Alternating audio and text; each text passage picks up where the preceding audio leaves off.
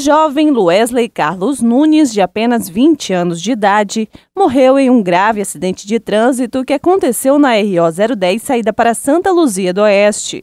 O fato aconteceu quando a vítima, que seguia de motocicleta para Rolim de Moura com a esposa, Jaqueline Nayara, de 19 anos, foi surpreendida por este veículo Gol, que invadiu a pista contrária e se chocou frontalmente contra a motocicleta.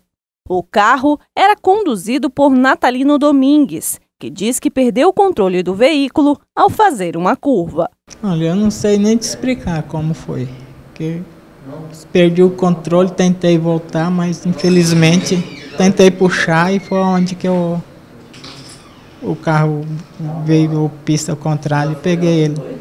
Luesley e a esposa, que está grávida, foram rapidamente socorridos ao hospital municipal pelo Corpo de Bombeiros. O rapaz apresentava múltiplas fraturas e não resistiu aos ferimentos. Começou os procedimentos de primeiros socorros no local e no trajeto o cabo Violato foi tentando fazer todo o processo de reanimação da reanimação carro de pulmonar, visto que a mesma estava com a parada, até entrega no hospital onde quando chegaram lá os médicos já estavam cientes da gravidade e nós passamos aos cuidados deles.